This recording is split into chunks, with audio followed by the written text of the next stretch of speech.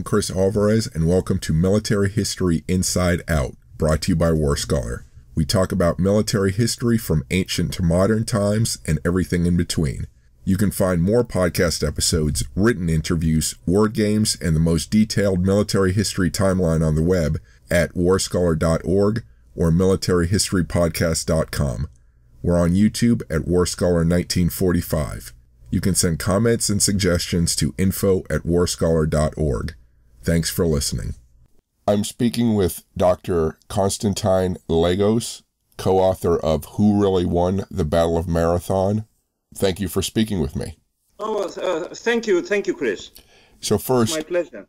Thanks. Um, so, first, tell me, how did you get into um, studying and writing on this subject? Well, um, my studies were uh, in ancient history. Mm-hmm. Um, so um, I was familiar with, uh, of course, among other, other things, the Battle of Marathon, even though I, I, uh, I didn't do any research uh, until uh, a few years ago on the battle. Well, it all started uh, from a visit I, I, paid to the to the battlefield, the, the um, you know what what we thought was the battlefield, and um, uh, that's when I had my first uh, uh questions about things that didn't seem uh, to be uh, uh, right about the battle. Mm-hmm. You know the the um, traditional view of this.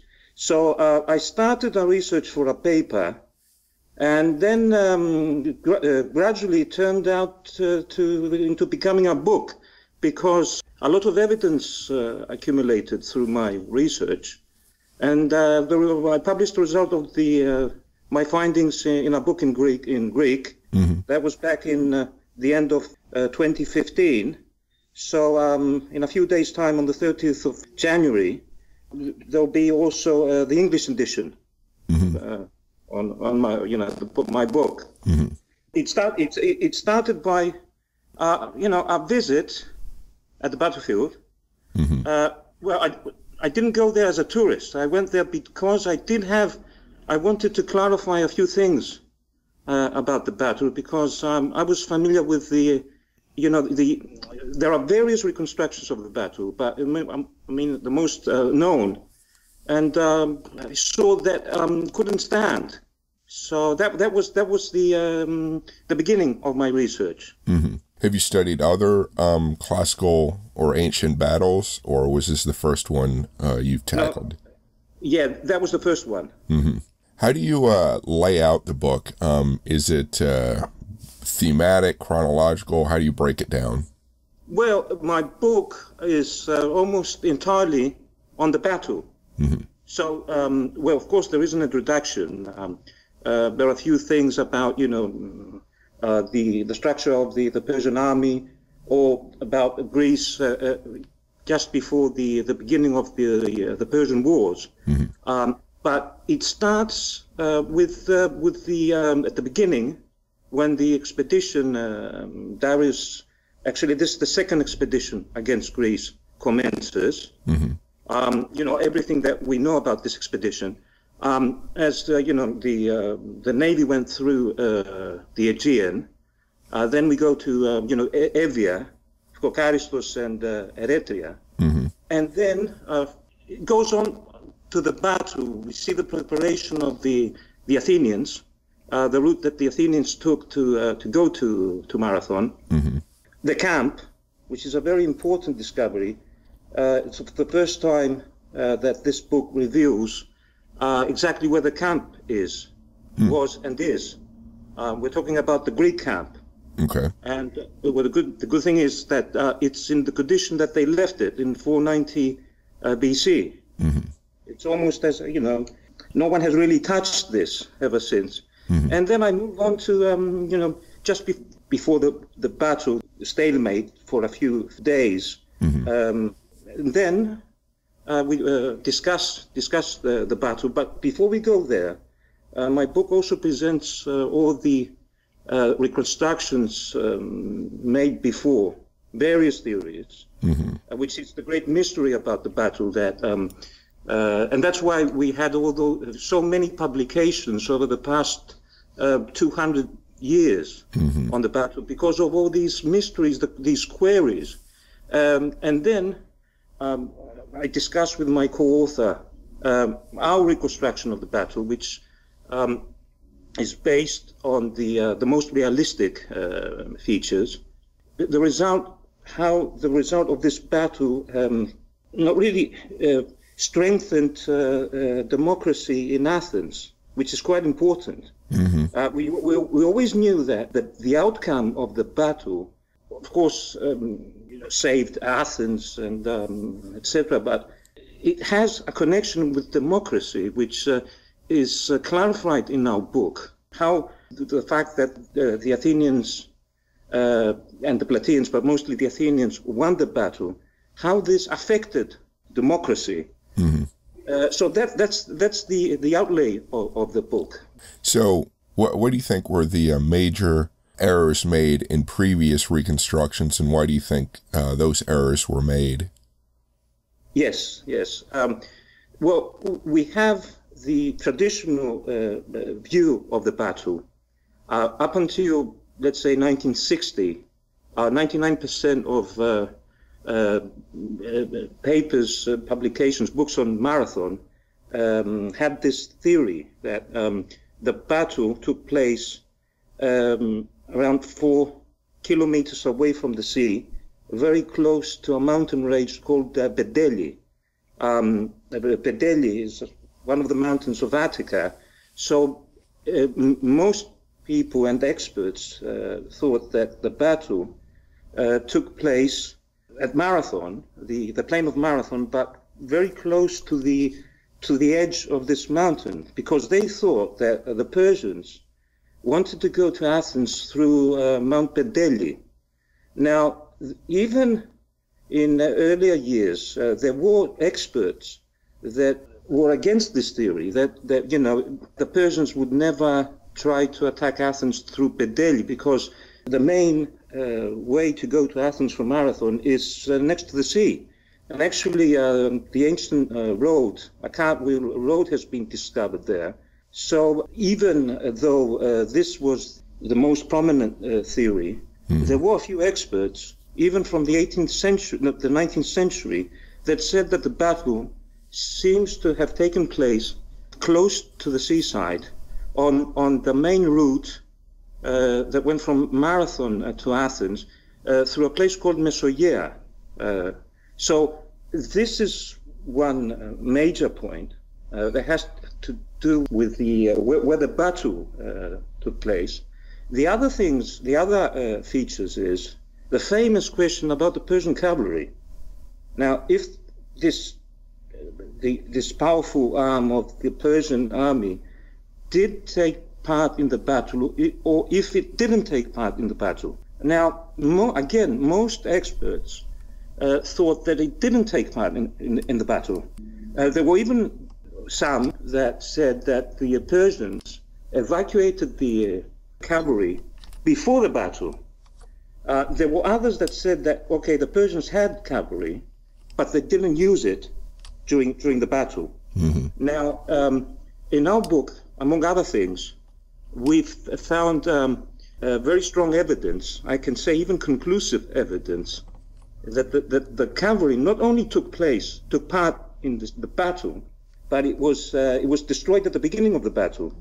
And that uh, Miltiades' uh, plan was to entrap the cavalry. Later on, we can I can clarify the, these points. Okay. So we've got the cavalry. Well, now first of all, we've got where the battle took place. Then we've got the cavalry.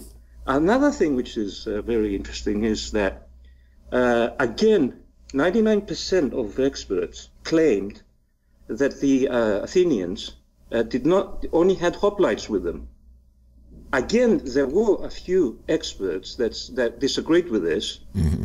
this point. That they also took with them the um, uh, the light armed armed uh, soldiers with them, and again we found evidence that proves them right. Hmm. So that the uh, the army of the, the, Athenians again, you do have Plataeans, but these were very few. Uh, the, the big body of the, the army were, were Athenians. Uh, we call it a Greek army because we, you do have Athenians and Plataeans uh, there.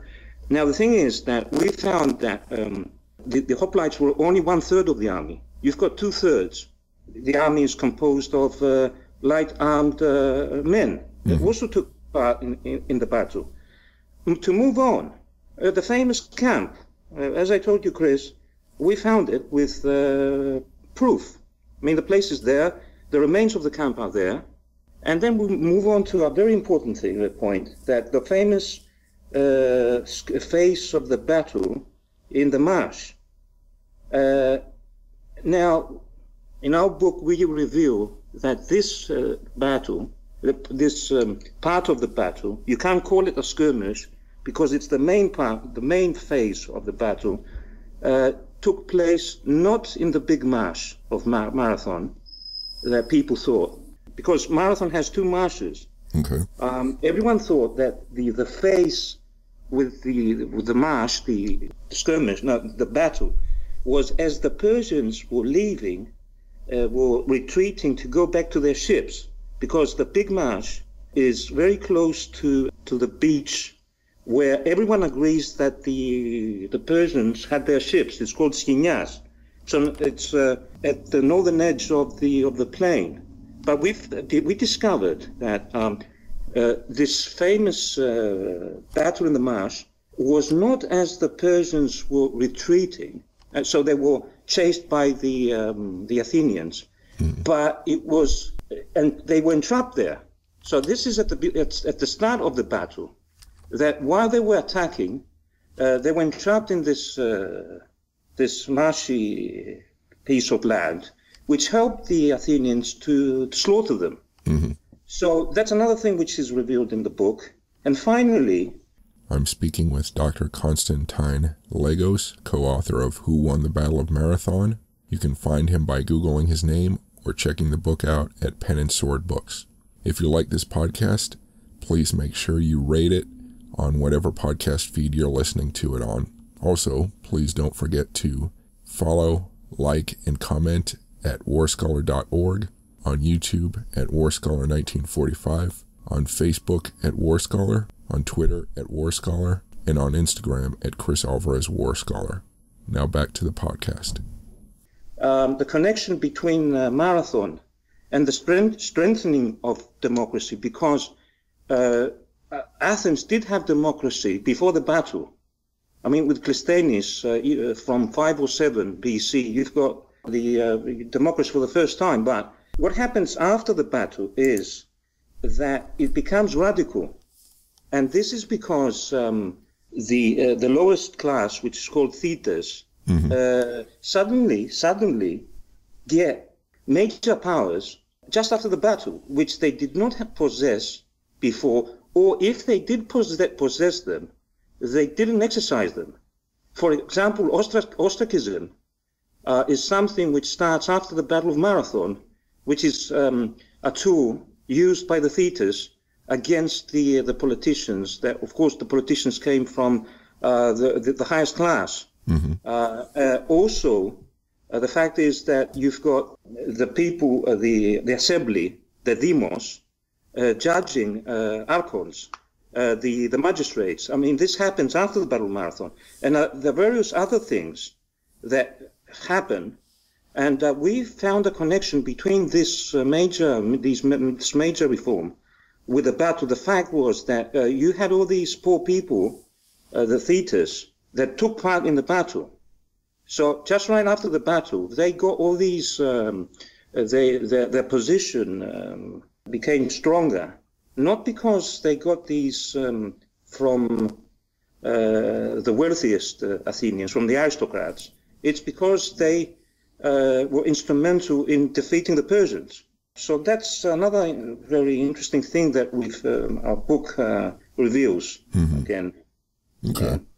Um, so are there so the site that is generally considered um, the spot where the battle took place are there memorials or you know, museums yes, or anything? Yes. Yeah, yeah. Well, actually, the the famous uh, Marathon Mound, which is it's been excavated, uh, is just uh, outside the entrance of this, uh, uh, where we say that the battle took place. Uh, now, the the actual battlefield is the entrance, of uh, this uh, route between um, Marathon and the plain behind Marathon, which is called Mesogea, which is connected directly to Athens. So you have a very um, uh, narrow pass. It's exactly like Thermopylae, mm-hmm. where in the entrance the Athenians uh, buried uh, their dead there. We knew that the, uh, the, the, the dead were buried there because this mound, uh, the Marathon Mound, that uh, was excavated 120 years ago. Where we claim that the battle took place, as I told you, Chris, we are not the first that we, we've come up with this claim. Mm-hmm. This is something which has been recorded by other experts. Uh, with the first one was called George Finlay. Now Finlay is very famous as a scholar mm-hmm. George Finlay, because he fought in the, the Greek Revolution. He stayed on in Greece, and um, he uh, he was a very good historian. And he gave a lecture in uh, London in 1838, where he sa- said similar things to what we claim in our book about about the battle, uh, where the battlefield is. But what happened then? Um, evidence accumulated after 1838, pinpointing that this is the place where the battle took place. So our, we are not the first to claim that the Athenians fought the Persians in front of this entrance. It's, it's between um, a, a, hill called Agrieliki and the sea in order to prevent the Persians uh, entering through this um, this narrow passage so that they could, could go on to, to Athens. Mm-hmm. Uh, but all the rest about the cavalry, uh, about the, the, light armed soldiers, and uh, of course the marsh, all that's new. Now, among other things, Finlay was also the first to pinpoint the exact position of the camp. Uh, that was something that no one else saw because uh, we didn't read uh, his paper and found made these discoveries. We made these discoveries, and we happened to come across his paper, which means that you know, which we're very happy to see that there was mm-hmm. someone 180 um, uh, years ago mm-hmm. who came to the same conclusions as we did. Well, of course, the question is why didn't uh, experts, archaeologists, historians then um, uh, follow what uh, Finlay said? Mm. It was because when he made the, these discoveries, it was so there was uh, the the academic uh, community, everyone was uh, absolutely sure that the battle took place close to Penteli, as I told you, which is uh, around four, uh, four, kilometers from the place uh, we say now. And what they did was they didn't give absolutely no thought to to Finlay's um, discoveries. And that's why there, um, even though the, the, bibliography about the, the battle is immense, uh, we're talking about you know hundreds of papers and books. Uh, only few later on refer to uh, to his uh, uh, research, even though he was a famous uh, person mm. at that time. Um, you mentioned so some of the differences that you find from the established um, understanding yes. is the location. You, you mentioned yes. the Persian cavalry. Are there other things, maybe uh, numbers, numbers involved in the fighting? Yes, yes, yes. Well, uh, uh since, uh, um, as I said, that the um, the Athenians also had their um, light armored armored armed uh, men with them. We're mm. talking about um, uh, archers, people with um, sl- slingers or javelins, even even stone throwers. Now, all, these people were two thirds of the army. So uh, there were something like nine or 10,000 hoplites, which means that the army, uh, the Athenian army at Marathon, was probably uh, more than 20,000, uh, even 25,000 uh, men. Now, uh, which means that it's two, twice or two and a half or three times bigger than, than we thought. But as I told you, Chris, uh, we are not the first that came up with this number. Uh, there are experts. Of course, all these are referred in, in our book. Our book has uh, has a lot of bibliograph- bibliographical references. Mm-hmm. Um, there, there, there, are more than 20 uh, people um, that, again, as I told you, experts that uh, claim that the number nine or ten thousand Athenians cannot doesn't does not apply. So the number of um, let's say the Greeks was much bigger uh, than we than we thought, mm. um, which means that the armies that clashed at Marathon on the on the front did not have a very um, great difference in number. But the Persians were much, much uh, larger, their, their, their, army, because they, they had their, the, the, the crews of their ships. Um, the minimum number of ships was 600 ships, and that those ships had uh, people on the oars, and they had uh, the, the, the, the, naval personnel. All these were free, uh, they were not slaves, mm-hmm. and they could fight as light armed soldiers, and they did fight. So when you've got the, the battle at the beach, uh, most of the people, the Persians that uh, fought there, were the crews of, of the ships. And of course, they didn't have a lot of uh, people that were, even though they were not on the front, they had reserves. Because we know from other battles, uh, from the Persian wars, that the Persians did never involve all their armies uh, in a battle.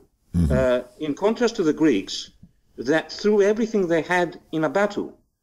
I mean, even at the uh, during the last battle that took place on mainland Greece, during the Persian Wars, the, the battle at Plataea, um, they had they held in reserve uh, many uh, tens of thousands of soldiers that did not get involved in the battle.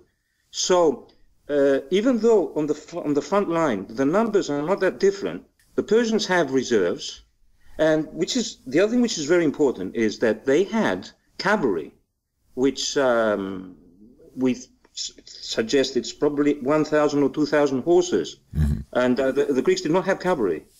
So that all added to the, uh, the, the, the, strength of the, the Persian army. Mm-hmm.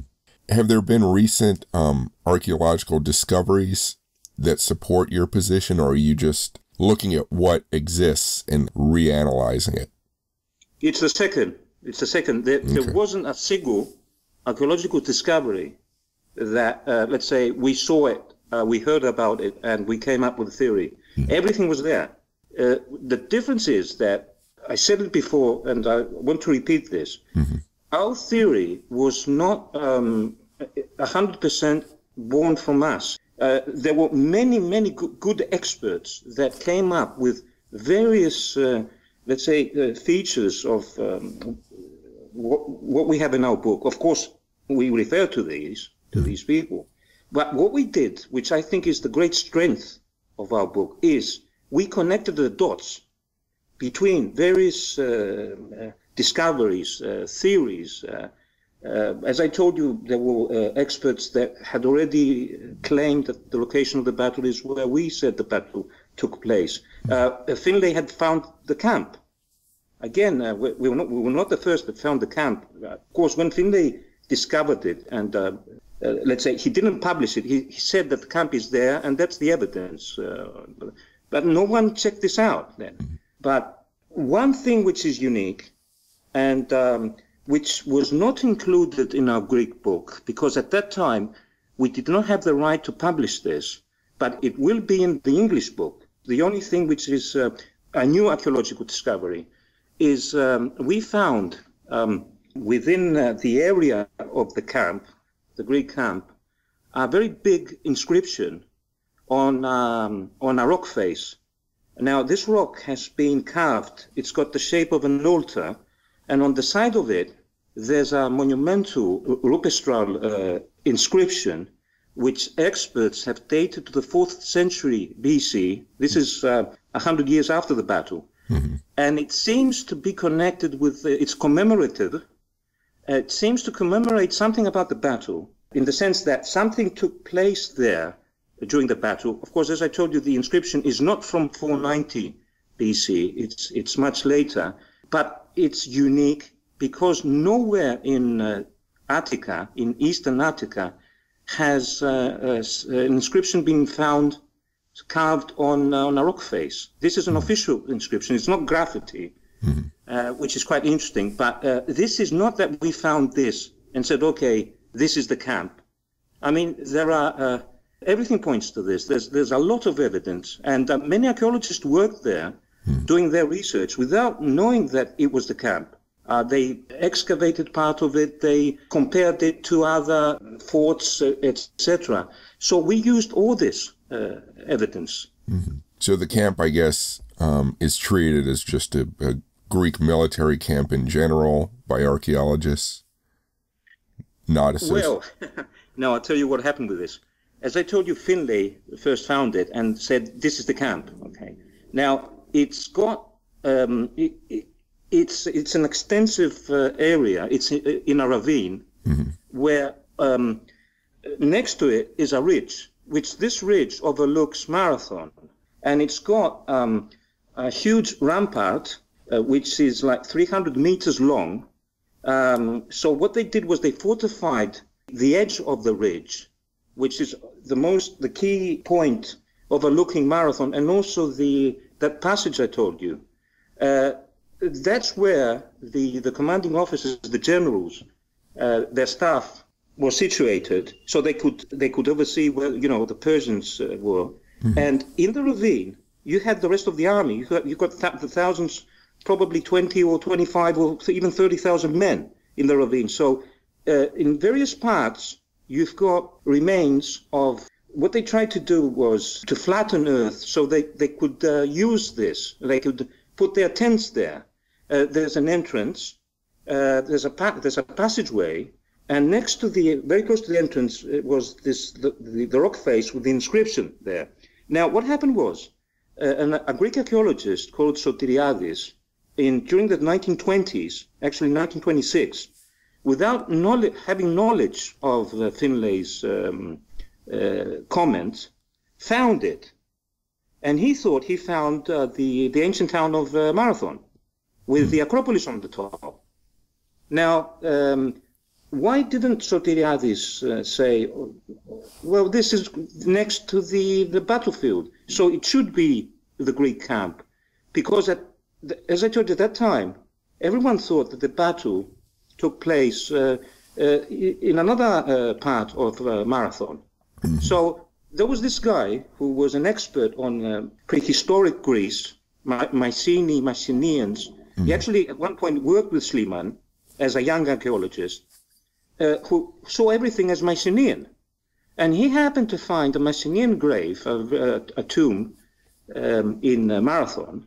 So he thought, okay, this place over here must be the Mycenaean citadel, which was then used during class- the classical times. Now, after him, archaeologists that came along to study this uh, went there to, to see if uh, Sotiriadis' uh, theory is correct or if it wasn't correct.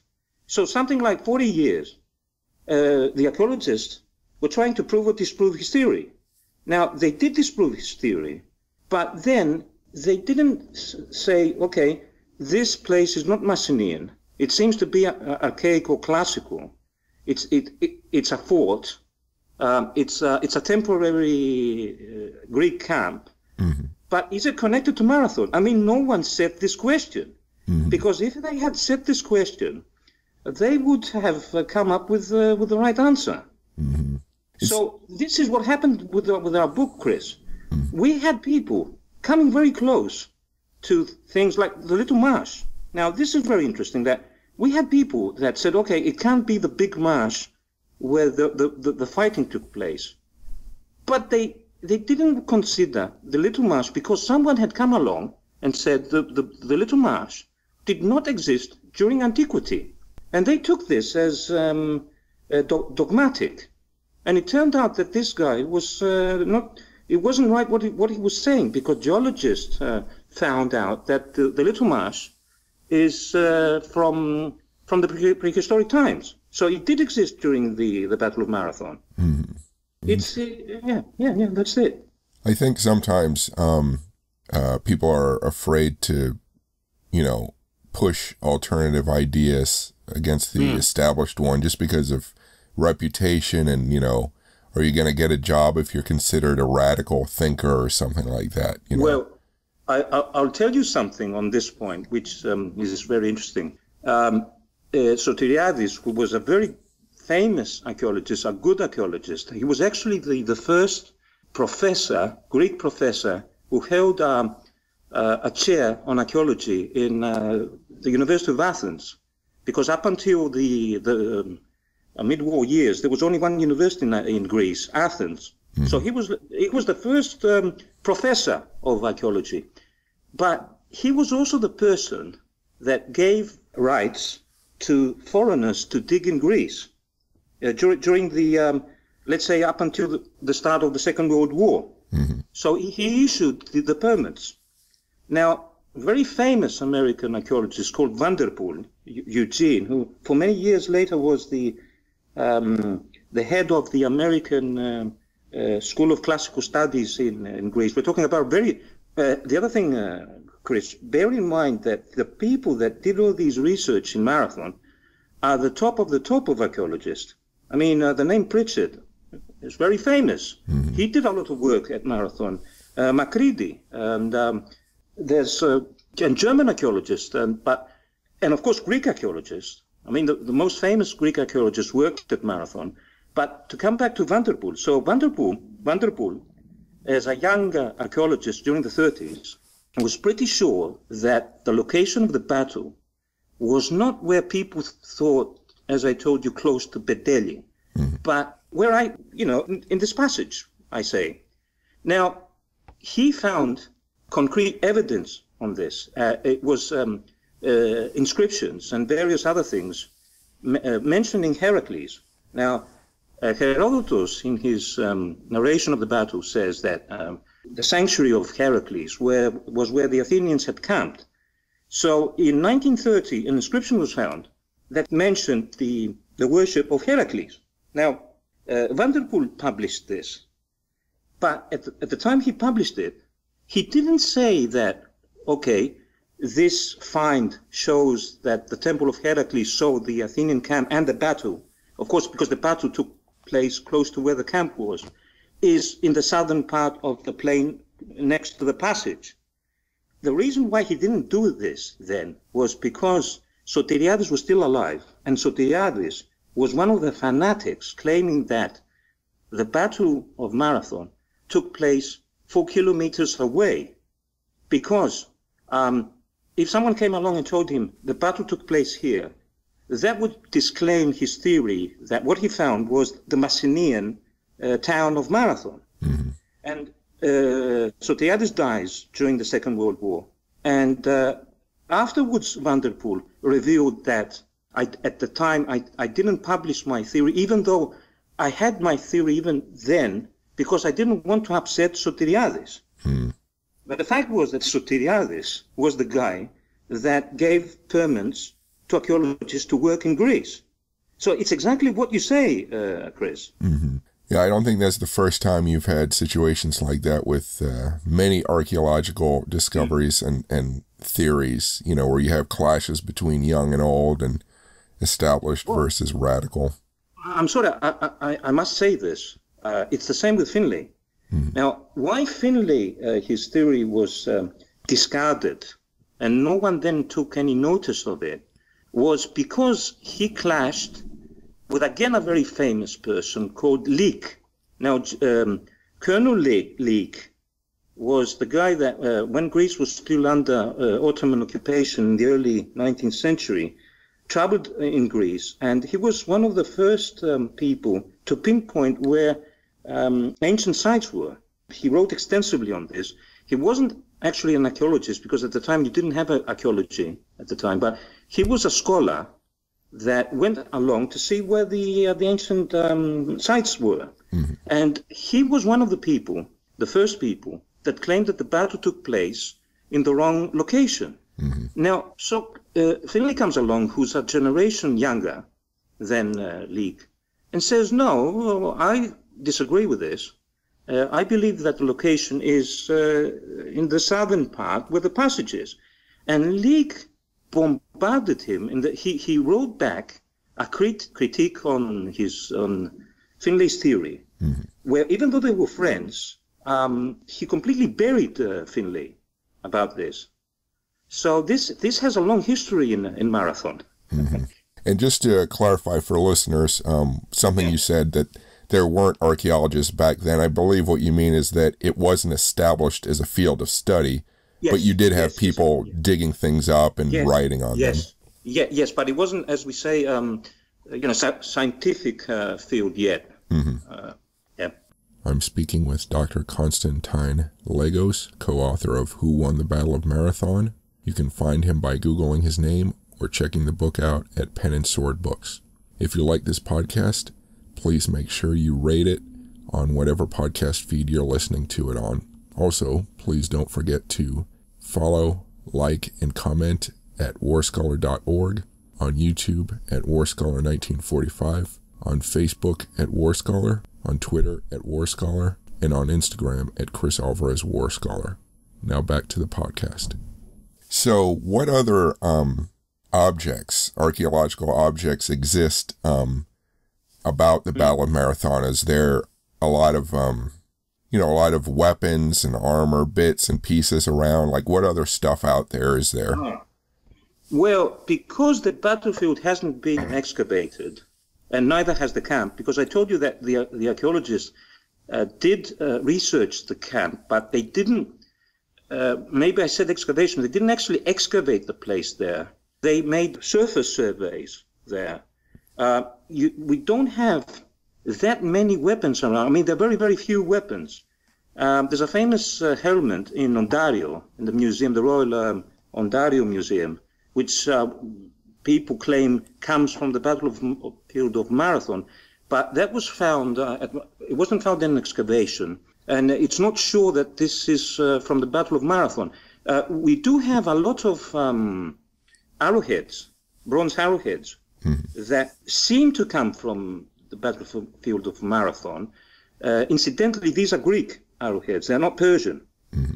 But it's uh, not that we have many, many relics from the battle, but there is a very important uh, artifact uh, linked to the, the battle, which uh, does not come from Marathon. Uh, this is from a temple on the Acropolis, uh, the uh, called the uh, the, the Athena Nike temple. It's the that pretty little uh, Ionic uh, temple where someone um, uh, climbs the propylaea. It's on, on on your right hand, and it has friezes.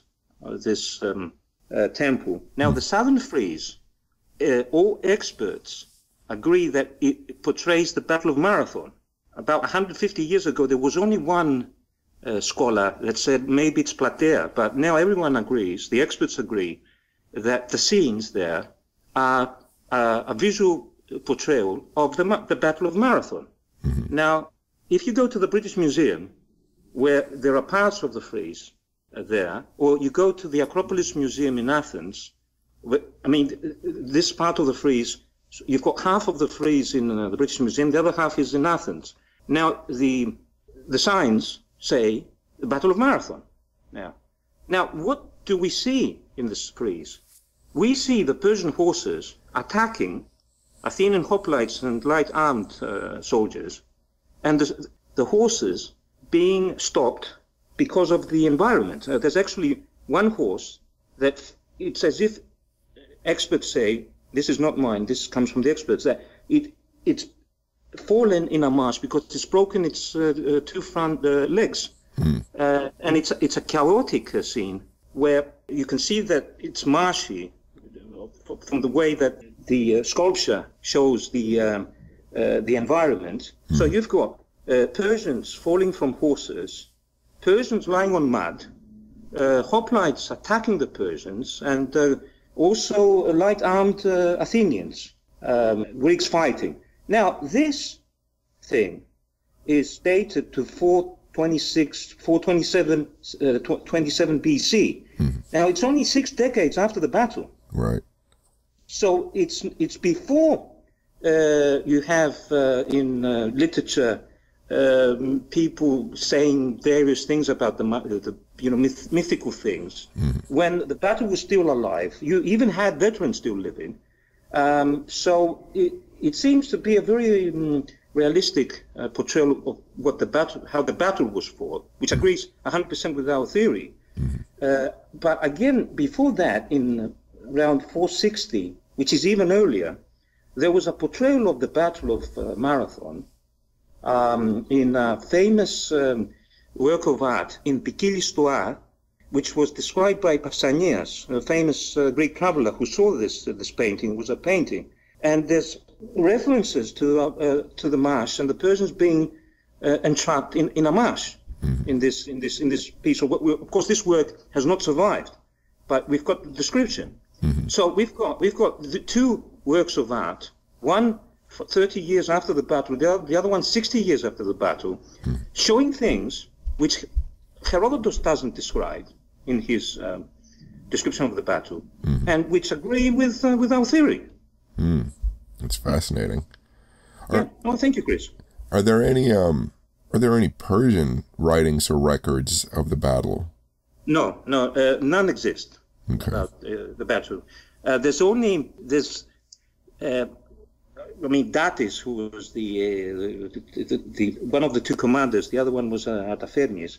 Uh, there's we're talking about something which is well known. It's been well documented. There's uh, in Persepolis there was um, um, a clay tablet found recording his name and it shows that he was a high official of Darius. And just before the Battle of Marathon, before the expedition, uh, he was on a very important mission uh, to Darius. But that's it. We don't have any reference to the Battle of Marathon. But uh, honest, I think that generally about the Persian wars, I mean, even the famous battles of uh, Thermopylae and uh, uh, Salamis and uh, Plataea, I think that there, are not, not no even uh, no mention of these battles uh, in Persia, if I'm not mistaken about this. But for Marathon, I'm 100% sure about this. Hmm. What part of the research uh, did you find most enjoyable? Ah, that's a very good question. Mm-hmm. Uh, yes, um, well, of course, um, our book, the first chapters, deal with uh, known facts. That's where we actually didn't add something new. Mm-hmm uh, when the, the expedition was launched, and uh, the, then they they sailed the the Aegean. They had various um, conquests on the way on the on, on the way there. Uh, then they went to Eretria. Um, well, I can't say that this was boring because even the even you know there were small details that had to be clarified. But well, the, the very enjoyable parts of the book, of course, were uh, our discoveries. Mm-hmm. I mean, the the major thing was the camp where um, I'm pretty sure that anyone that reads the book will be convinced that this is the camp of Marathon, mm-hmm. um, with all the the, um, the, bibliographical references to this. The battle itself, which is um, a very quite exciting um, uh, chapter. Mm-hmm. Ah, I had to add here that one thing that really helped us was that um, the geolo- geological discoveries show that the terrain of the of Marathon has changed very little since the time of the battle, which was very important. It's not the, the same case, let's say, for example, Thermopylae, where if someone goes now to the passage there, it's not uh, a, a, narrow passage, it's like three or four kilometers. It's uh, because it's, it has changed. But in the case of Marathon, I'm talking about the battlefield. Mm-hmm. Um, there've been very, very little changes there, and uh, we were lucky uh, because there've been several um, studies at Marathon. There, there was a great con- controversy uh, back in the beginning of 2000, because then Athens was to hold the um, the Olympic Games in 2004, and the uh, Olympic, um, you know, where the rowing thing you know, the, took place. They wanted to build it in, in Marathon, close to the big marsh. Mm. So they had all these geologists to find out uh, what the environment was in uh, earlier centuries.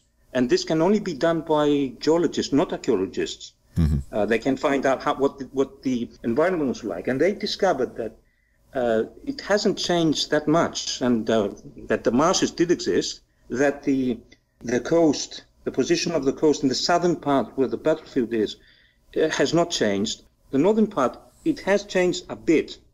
It's, it's um, now the, it's further inland than what it used to be.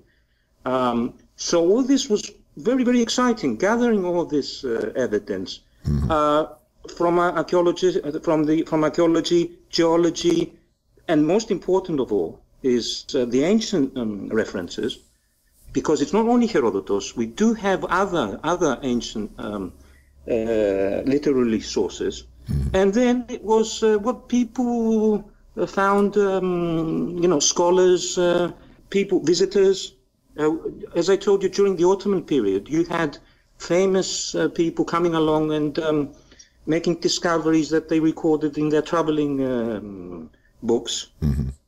Uh, and of course, the democracy thing, the question that it was at one point, I'll tell you this, Chris, um, because I worked on my research for Marathon for almost 10 years, mm. uh, not 10 years, seven, eight years. It was, it was a passion.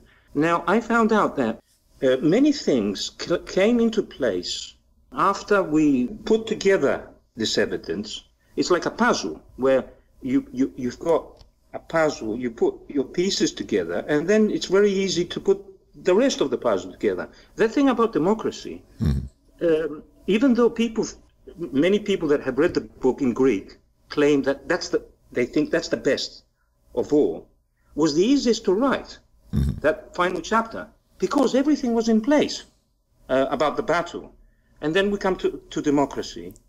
And uh, this is important that democracy, the, the radical form, because uh, up until the Battle of Marathon, uh, as I told you, you did have, you did have, um, you know, Athens was a democracy, but it did have a lot of aristocratic uh, features.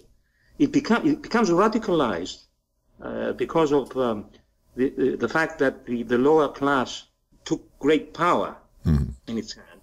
And everyone thought it was because of Pericles. Now, Pericles is uh, something like 40 years after the battle. Mm-hmm. Now, the only thing Pericles did was uh, he paid the poorer citizens so that they could um, uh, go to the assembly and also be on uh, the uh, the courts as um, as uh, juries because these courts also heard cases against the, uh, the, the magistrates, because the magistrates were the, were the rich guys. Mm-hmm. Now, but this existed before. Now, I, I don't say that under Pericles, democracy was not, you know, what, what it was, but Demo- uh, Pericles found most of the the established thing already in place, hmm. and this happens just after marathon. Uh, so that was a very exciting uh, chapter because it doesn't have to do with military history. Now, it's because of military history that we've moved on to uh, political history, social history. Mm-hmm. So I'm really proud about this. Yeah, that is pretty cool. Um, oh, th- thank you. Thank you, Chris. What, um, so we've talked about things that you've discovered in your research, but was there anything that we haven't mentioned that was most surprising that you came across? Ah, oh, no, yeah, okay, I'll tell you. I'll tell you this. And of course, everything I, am telling you is in the book. So when people have the book, will be able to read this with all the evidence. Mm. There were these very, um, very good scholars.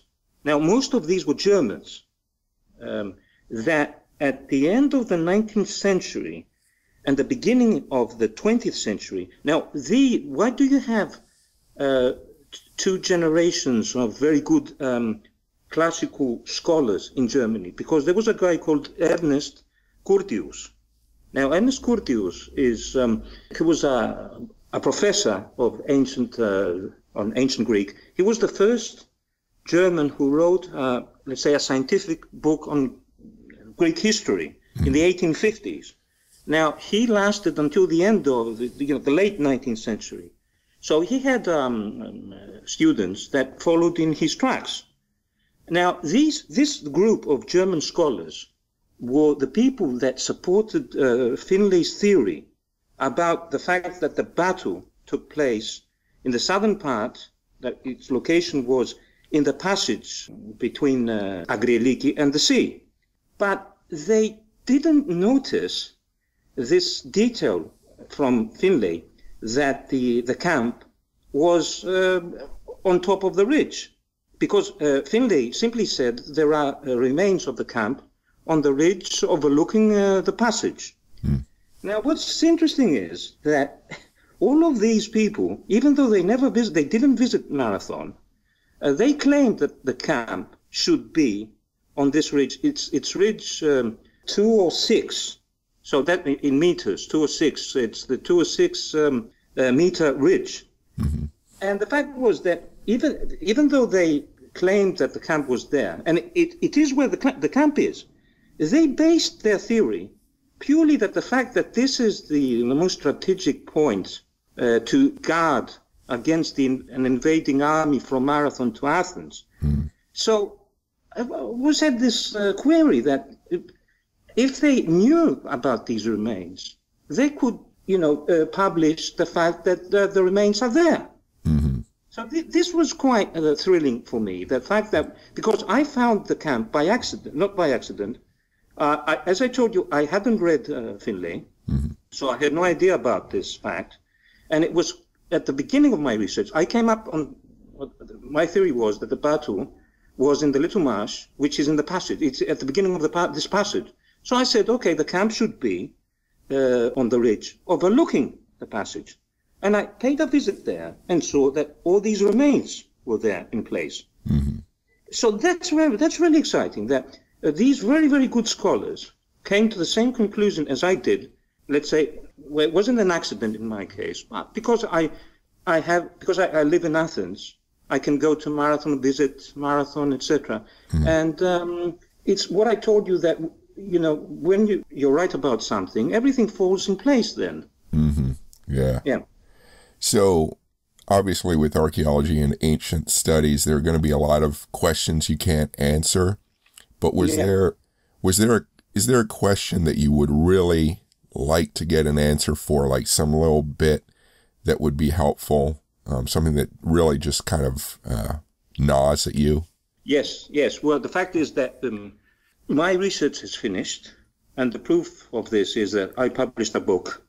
Because usually, when your research finishes, you publish your book, your final findings. Mm-hmm. Now, it's it's entirely up to the archaeologists, because First of all, as I told you, uh, Chris, we've uh, pinpointed exactly where the camp is. The camp in many uh, parts is uh, covered in um, uh, soil, so it could be excavated. You do have parts which are on, on the rock, where very little excavation can take place there. So it means that the archaeologists uh, should go and start digging the place. And of course, the battlefield there. As I told you, uh, a big part of the battle took place in a marsh.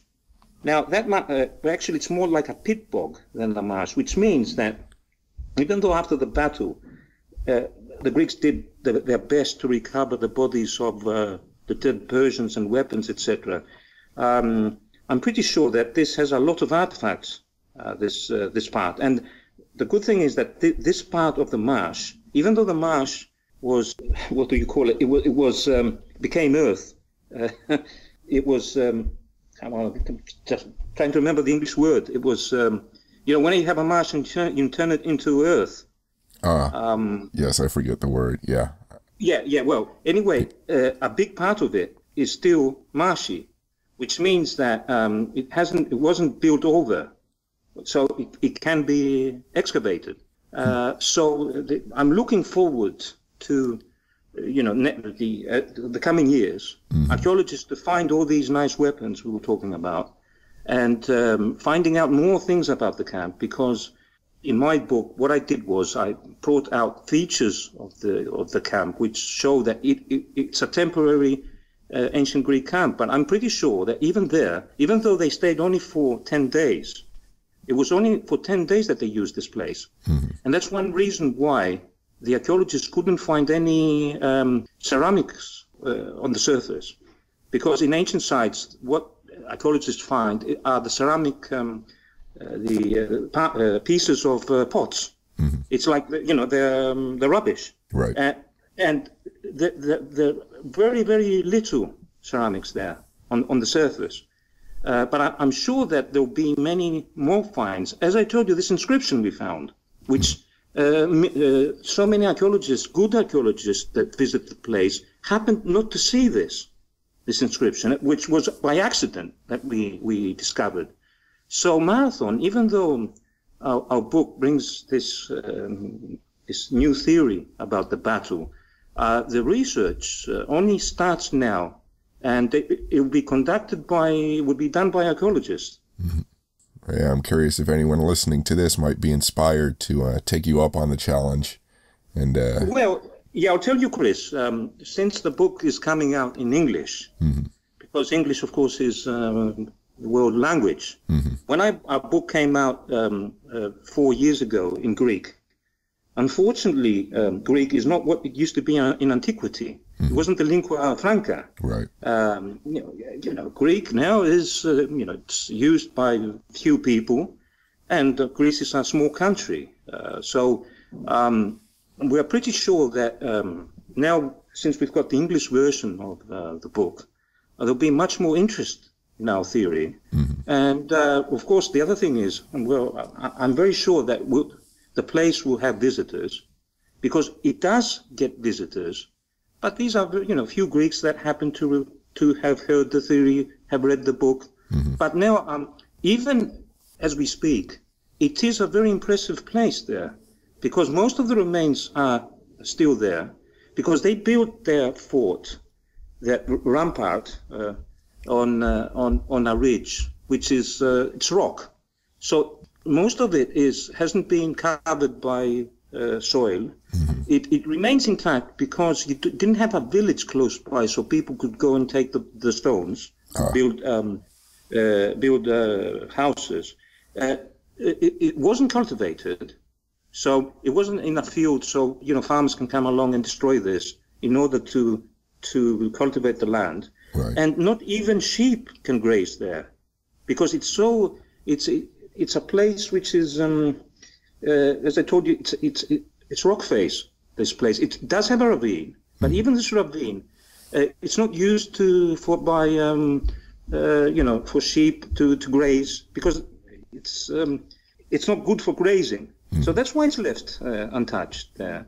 And of course, the, the place people will, will visit it because uh, Marathon is, as you know, it's a it's a famous. Um, it's very famous because of the marathon uh, thing. Oh yeah. And uh, you, you, you, of course, you don't have the tourists that visit um, the Acropolis in Athens or Delphi, Olympia, um, you know, or Knossos. These are uh, roads. These are ancient sites that um, attract uh, millions of tourists.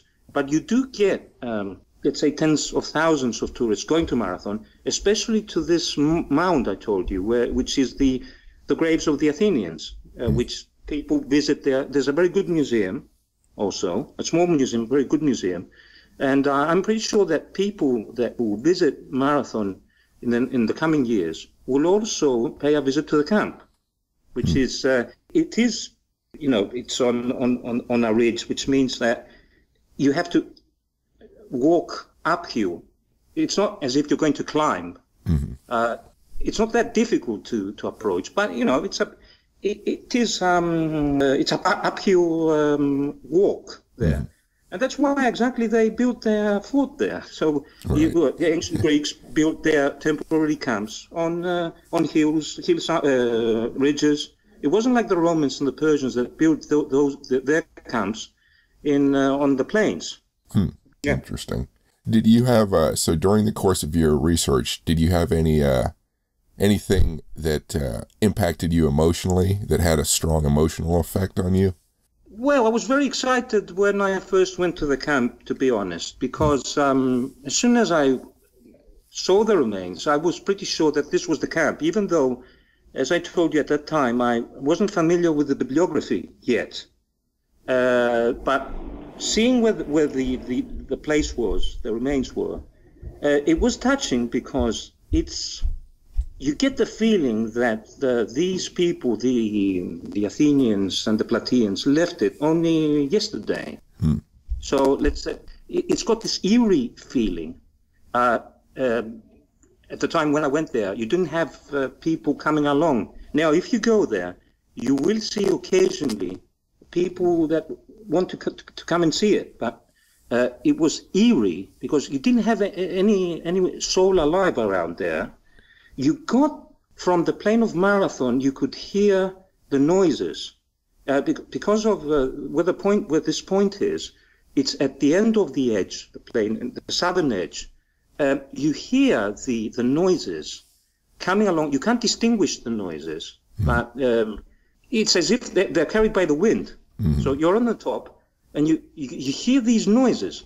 Now, this is touching what I'm going to, to tell you, Chris. Mm-hmm. When I was then doing my research, I found a reference by uh, a Greek uh, orator who lived during the Roman period called Aelius Aristides, who does mention uh, the Athenians at their camp.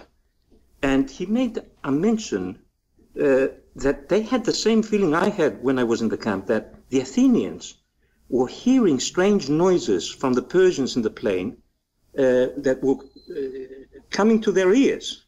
Hmm. That, so that was that, that, that was touching. And as I told you, um, this is a place where it's not as impressive as the Parthenon, for example. But I'm going to tell you something which might si- sound um, uh, too far-fetched for your listeners. Go, it's okay. much more. It's much more important than the Parthenon because this is the place uh, that uh, starts, the, you know, everything that comes after Marathon. Mm-hmm. Uh, it's it's a sacred place because it's the camp you, you don't have dead there, of course. It's not they, they buried their dead there, but it's where they were for 10 days, the, the, the Athenians and the Plataeans. Mm-hmm. And um, it's as if you're in the, uh, where uh, Miltiades and Callimachus were there. There's a famous um, uh, discussion that Herodotus uh, records just before the battle that um, Miltiades tried to convince Callimachus, and he's recorded what he thought were the words of Miltiades. Of course, there were no tape recorders at, the, at that time. Right. But he has Miltiades talking to Callimachus. And uh, we're pretty sure that this exchange took place on top of the ridge where the, the remains of the fort is and uh, where the generals had this great view of the plain and the, uh, the passage next to the plain. and um, it's as if you're in the footsteps of history mm-hmm. um, entirely there. So yes, that, that, that that's touching, uh, Chris. Yeah, as you spoke, I, I almost imagined myself standing on the ridge and hearing the shouts in ancient Greek and, and Persian, you know, and the clash yeah. of arms and, and all that. I, you know, just, I can imagine that. Yes, and uh, what's interesting is, um, of course, I've taken friends up there, uh, some uh, uh, you know, people in the military or um, diplomats or professors. Uh, we're talking about people, uh, you know, cultivated people that have read about the battle, know many things. Because in Greece, uh, we have this that uh, it's not only people, historians and archaeologists, but generally, um, let's say, people with um, cultured people have a great interest in in our, you know, ancient history. And that, of course, makes sense. So. Mm-hmm uh, these people were very moved uh, being up there. There was actually a general uh, in the Air Force, ex-general, who, when I first told him about the camp, because he was born in Marathon, and he grew up there as a, as a, as a young kid, he knew that, yeah, of course, we know that there's a fort up there. But he didn't actually tell me to my face that it can't be the camp, but I could see that he was puzzled by this. And I said, okay, come along and uh, let's go. Have you ever been up there? He said, never. I've never been up there. So let's go now. Let's go up there. And when he went up there, he said, you're absolutely right. Because when someone is, looks, uh, is, is in the plain and looks up on the top of the ridge, it's not that impressive. But when you're up here, you can understand that this is the perfect place where they had to make their temporary camp to um, so they can watch over the Persians. And um, but he told me something really touching, Chris, that uh, this is really great, but I'm also upset because I had fantasized this place and generally the battle, and now you've brought it in reality. So you've made this like this fantasy I had, and um, he was a bit upset by this. Hmm. Yeah, that's hey. I'm sorry, that's life. I know, no, I know, Chris. I, I can understand uh, exactly the. You know, I had the same the, the same feeling. Mm-hmm. Uh, you know, uh, you know, I thought at first it was like you know it was funny, but it does make sense because it's um, uh, when you grow up, of course, the Battle of Marathon is um, probably the most famous battle in antiquity, one of the most famous battles uh, in, in, mankind. Mm-hmm. It always makes the first 10 or 15 most famous battles ever. Yeah. yeah. And uh, you you got someone who's a general who's like in, in his 70s, who's he's been brought up ever since he was in uh, kindergarten about the battle, and he was born in Marathon mm-hmm. because there's there's a modern city in Marathon, N- nothing to do with the battle. It's like mm, it's uh, 10 kilometers away from the battlefield, the, the city, and uh, it's always uh, a fantasy because he the only pictures he's seen were um, imaginary picture, pictures of the battle, and he comes along along and sees the real thing, mm-hmm. and he says, "Okay, this it's it's not it's, it's it is impressive the camp, but it's you know expect it a bit different." You say, "Okay, this is it. This you you have to." Uh, you know, uh, you know, accept this because this is reality. Mm-hmm. Yeah. What would the weather have been like, do you think, um, at the battle at this time? During, uh, the, yeah, the weather would have been, um, it, it's at the end of summer. Uh, there are no references to, of course, in uh, any of our ancient sources about what the weather was like, mm. but generally it was good weather. Mm. We're talking, it's not extremely hot, but um, it's people can stay outside. They can, of course, sleep uh, in um, you know outdoors, mm-hmm. and uh, it's uh, maybe there were some hot days, mm-hmm. but generally t- tolerable uh, conditions during the battle. But you don't have any any rain or thunderstorms, or of course no snow. the battle took place on the 11th or 12th of September. Mm-hmm. And and so I'm thinking, you know, if you were on the ridge viewing the area you know, would you see dust clouds as the Persians were moving? And you know, yes. like I'm just imagining. Yes, that's uh, that's exactly what happened. Um, we do have references from ancient sources that they viewed the Persians from their camp, and uh, this um, brought terror to the Athenians. Hmm. Um, uh, there's a reference by Herodotus that um, when uh, the um, those generals that didn't want to fight because we're, we're talking about well-known uh, stories now. Mm. Uh, you had you had ten generals, and five of them said, "Okay, we shouldn't fight now. We should uh, the battle because the Persians are, are, too, are so many."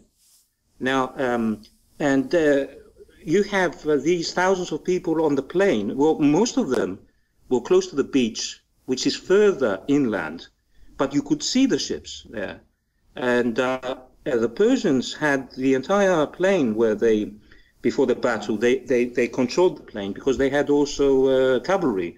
And, uh, and uh, it wasn't only the, the generals, but also the soldiers that could see all the, the you know, dust clouds from, from the, the Persian horses or, you know, the men moving along. As I told you, the, the, the Persians, uh, the frontline troops may not have been so different in numbers to the, the Greeks we're talking about around 25 or 30,000. Mm-hmm. But uh, a minimum of, a, you have a minimum of 100,000 uh, people that have to support those 30,000. So if you have 130,000 people in a plain which is, okay, it's not a, a, very small plain, but it's not a big plain. It's got a width uh, of uh, seven to eight kilometers. So we're talking about a lot of people and this would have uh, impressed negatively the uh, the Greeks on the ridge. Mm-hmm. Yeah. Did you have? So you said uh, it's been seven or eight years of research. Um, mm. What difficulties did you have in getting finished and published? Yes, yes. Uh, well, the greatest difficulty was this huge volume of uh, bibliography. Mm. I mean, it's incredible how many people have written about Marathon, the Battle of Marathon. Uh, in our Greek edition, we have something like um, uh, uh, around seven or eight hundred items, oh. books, articles, um, discoveries, uh, whatnot, and uh, um, because I did most of the uh, bibliography, my co-author contributed in other spheres of the of the edition. So um, I, personally, I had to read everything. And hmm. going through uh, seven, eight hundred uh, different publications is, is, a lot of work. That, And um, so that was the the greatest uh, task.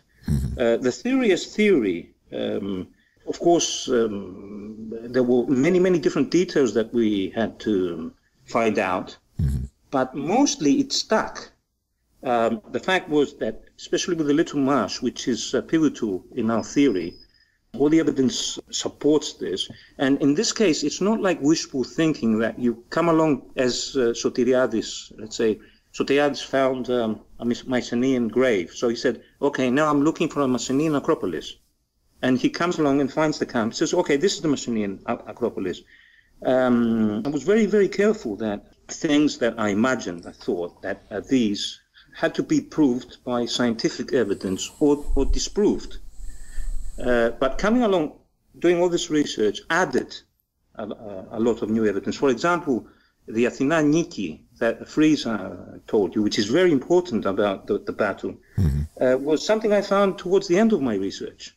And uh, it came to um, cement all, all the rest. Mm-hmm. Did you have any difficulty getting a publisher? No, no. Okay. Uh, uh this may sound um, I don't want to show off, uh, Chris, uh, but I've written, I've written three books in Greece because I'm I'm Greek. I'm, of course, I live in Greece. Mm-hmm. I've never knocked on a publisher's door uh, okay. because my first book, uh, because I'm a historian, uh, I did my PhD on ancient history, but then I went on. I I teach in uh, military academies.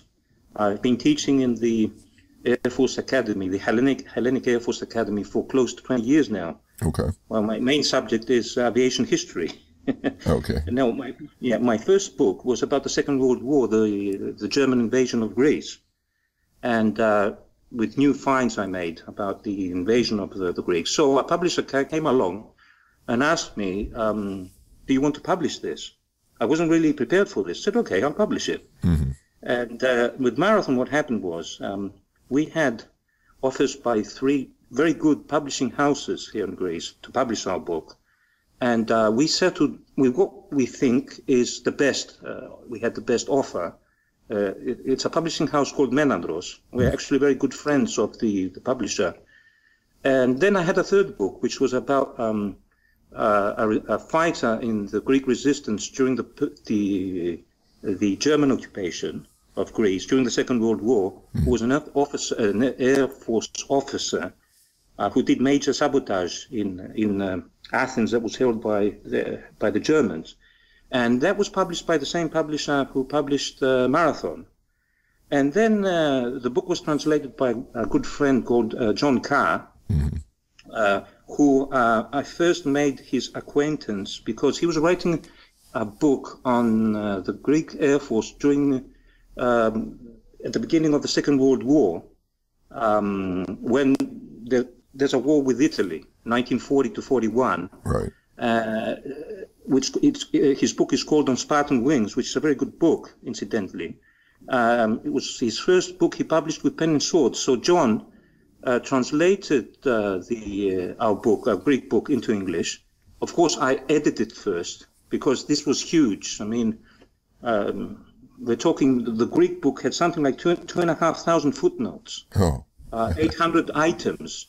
Uh, and of course, it had to be sized down for the English edition. Okay. And John then introduced us to, to pen and sword. So not only didn't ha- I have any difficulty, I mean, I must be one of the few lucky authors. I'm not like a famous author. It's coincidences that I've never knocked on a uh, on a publisher's uh, door.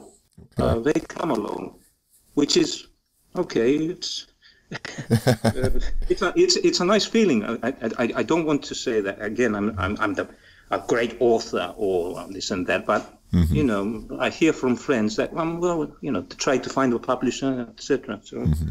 Okay. You know, Good. That's it about the publishers, uh, Chris. Interesting. Um, yeah. Do you have a current writing project you're working on or planning on? Yes, I do. Yeah. Which is with pen and sword. Mm-hmm. I think I can, I can, reveal this since, uh, I mean, we've, uh, and I'll be writing a book with John Carr. Uh, this is not going to be a translation of a Greek book. It's going, we're actually writing it in English. We have started writing it. Mm-hmm.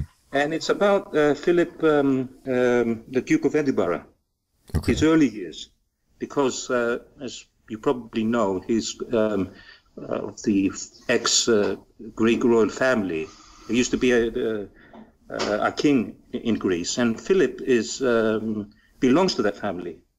I mean, um, people know, know him as uh, Philip of Greece, even though he wasn't Greek, in the sense that, I mean, his parents, his family were not Greeks, but they were uh, the reigning uh, family of Greece. And uh, uh, with there's you know interesting uh, things about him as when he was uh, a young uh, child uh, in Greece. So um, we uh, started writing this book, Okay. uh, which uh, hopefully we, we will finish it in um, in the current year. It's not like marathon, which took me eight years to write. Okay. No, yeah, this one will be a lot quicker. Yeah, and the good thing is, of course, I cooperated with John. As I told you, uh, we were friends with John before he started translating uh, Marathon, because I gave him uh, evid- uh, information about the Greek Air Force during the Second World War. But of course, his book doesn't cover the entire Second World War. It's 40 to 41 during the the the, the war with the Italians. That's that's how I met John. Then John uh, translated Marathon and we had a, a close cooperation with, with the translation because I had to, to edit things out uh, of from the Greek edition, and uh, so this will be our first book, which will be written uh, uh, in in English. As I told you, it's people a bit taken ba- aback. My books are on completely different uh, fields because I happen to make to make discoveries in these fields. So uh, I mean, there's no connection uh, between them. Where can people find your work uh, on the web? Do you have social media or website? Uh, well, I don't have a website.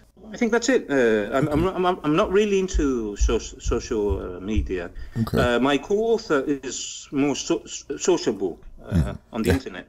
Huh. Um, So, but people can find the book on like, Amazon and no, other. no, no, the book. No, no, no. Well, I mean, the book is um, actually it's by uh, the, the publisher is Pen and Sword. It's uh, on not all Amazons. I mean, I can see that um, uh, most uh, big uh, bookshops uh, actually um, uh, advertise it. I mean, Waterstones, W.H. Smith's. Uh, there's a big uh, bookstore in uh, the United States. Um, uh, I think it's called Barnes and. Um, Barnes and Noble. Yep. yeah, Barnes and Noble also advertised the book. So if someone wants to find the book, uh, they can either find it through Pen and Sword or you know the major bookstores, um, or uh, even Amazon. Right.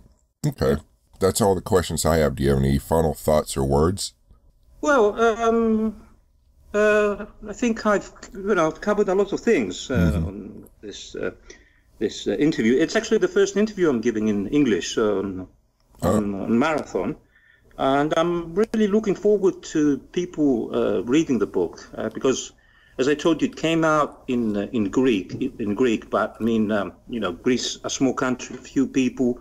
Um, generally, it did get good reviews, but I'm waiting. Um, with uh, excitement uh, to hear uh, comments by people that will read the book, uh, critics, and um, uh, since it will be in English, uh, there's going to be a much much larger audience uh, about this. And uh, of course, marathon is uh, famous, and um, the the competition, marathon competition, is not nothing more than a small detail about a major event, which was the battle. And you've got millions of people that participate in uh, the in marathons uh, all around the world. And I think it's a good thing to find out that there's, al- there was also the battle. That that's the reason why they they they run uh, the marathon. And as I told you, you, hundreds of people did research about about the battle. Incidentally, it's one of the, one of the reasons was that we don't have uh, a coherent, uh, uh, detailed uh, description of the battle. Yeah, everyone knows that Herodotus wrote about the battle, but uh, his description of the battle was very brief. It was because um, uh, the battle of marathon was not one of his main uh, points he was making, because uh, Herodotus was uh, concert- his theme, the topic of his um, his book was Xerxes' uh, invasion, and marathon is before Xerxes' invasion. So it was something like in, in his introduction to what happened next. And we have all these publications, and uh, you know our book comes out, and uh, and uh, we hope that uh, we've um, come up with answers to many uh, questions that people had mm-hmm. about the, the, battle. And, uh, you know, they can check out all the evidence and uh, hopefully they can come in uh, to Greece and even visit the battlefield oh, and yeah. try to form their, their own o- opinion. So I'm looking forward, especially to people who tell me that, okay, you're, you're wrong about this. Because this is something that um, I, I didn't encounter uh, here in, in Greece when my book came out. You know, someone coming along and telling me, okay, I agree with this, but I disagree with that. Mm-hmm. I, mean, people either said, okay, we agree with everything, or simply said, simply said, well, we don't care about it. Yeah. it doesn't mean that everyone cares about, you know, ancient uh, history. Okay? Yeah. But plenty do. Plenty do. Hmm? Yes, yes, plenty, plenty do. Yes, yes. All right. Well, thank you for speaking with me. Well, well, thank you, Chris. Uh, thank you very much. Thank you for listening. You can find more podcasts like this on your favorite podcast feed under the title Military History Inside Out. That includes Apple Podcasts, Stitcher, and Spotify. One great way to support me is to rate my podcasts, either good or bad. You can find more great military history information at warscholar.org, on YouTube at Warscholar 1945, on Facebook at War Scholar, on Instagram at Chris Alvarez War Scholar, and on Twitter at War Scholar. Please support me by following me on those sites and liking my videos. If you like to read, don't forget to sign up for my weekly newsletter where I recommend newly published books. The subscription box is on my webpage. Thank you.